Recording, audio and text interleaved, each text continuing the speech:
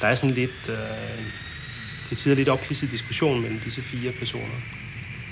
Der siger jeg til min kollega, at der, der er noget galt her. Men pludselig så vendte de om og kom gående tilbage igen. Og så er det ligesom man siger, nå, der, så, er der ingen, så er der ingen far på ferie alligevel, men, men øh, der kommer disse fire personer løbende op igen, øh, skrigende, uh, this is a hijack, this is a hijack. Hvordan opleves en flykapring? Ja, man tid til at, ligesom at vil sige, stoppe op og, og spekulere over de ting, som man har oplevet.